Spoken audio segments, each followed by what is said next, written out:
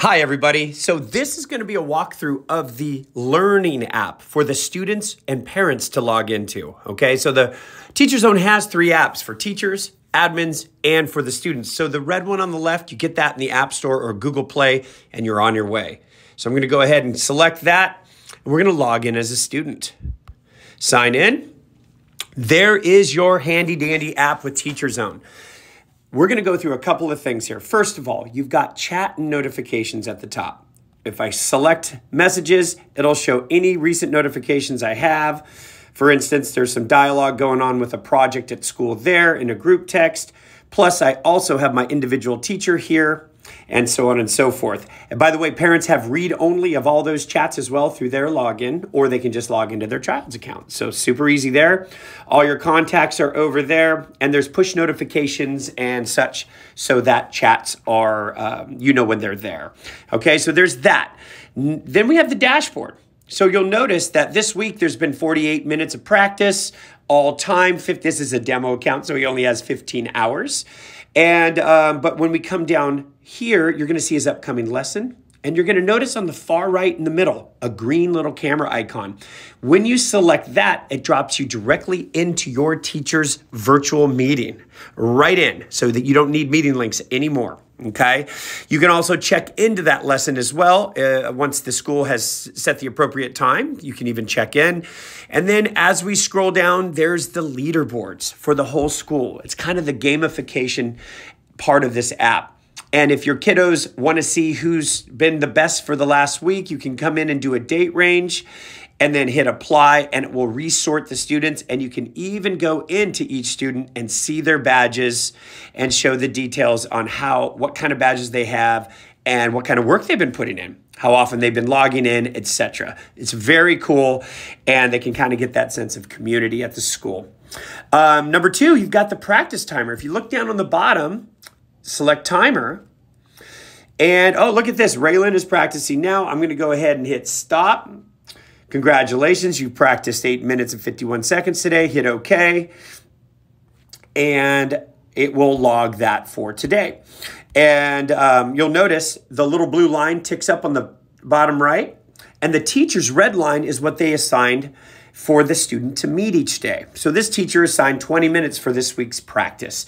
So it's very cool. All of that is attached to the badges as well. So they will accrue automated badges based on practice time set by the school. Very fun. So now we'll go back to the dashboard again so we can know where we are.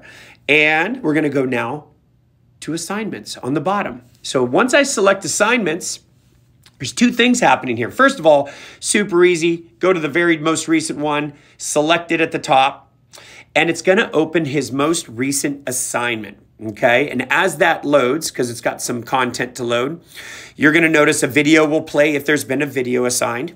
Hi. But you're also going to notice that there's a playlist of other things. In this video, so we're going to teach you how to use anything the teacher decides to attach even if they don't attach videos, you can still go in and see your lesson plan. Next Here's his lesson plan. Scales, right? Minimize so that. Scales, Parents have access to that many, as well. Many, pause that.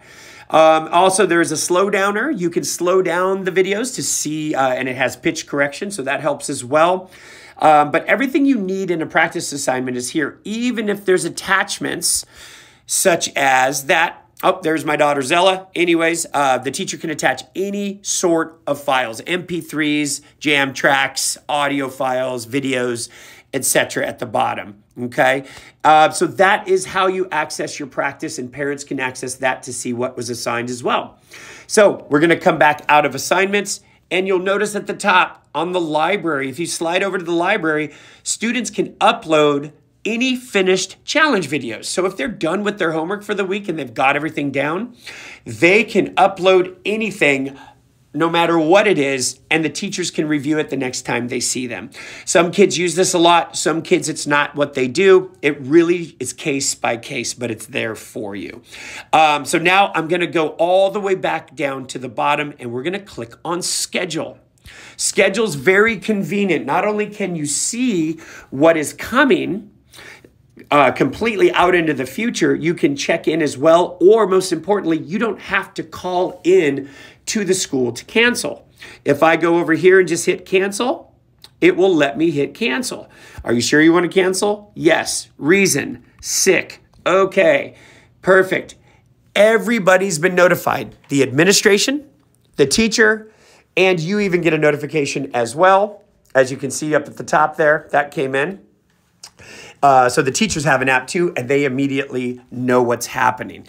You can also restore banked lessons if your school um, has that activated. So any lessons owed, you can restore into open times. This particular student doesn't have any, but they pop up there and you select a time and pop them in. Very, very convenient. You'll know what's coming up. You can cancel on the fly and not have to inundate yourself with a phone call to try to get a hold of somebody. So that is this teacher app, or excuse me, the student app in a nutshell. However, there's one more thing I want you to look at the sandwich menu on the top right. So parents are going to like this too. So first of all, profile information, you can change your picture here and, and whatever you need to do.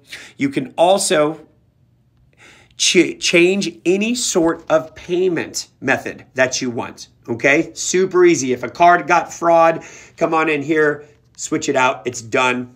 And you've also got payment reports. You can see how many uh, tuitions were paid in the past few months, etc.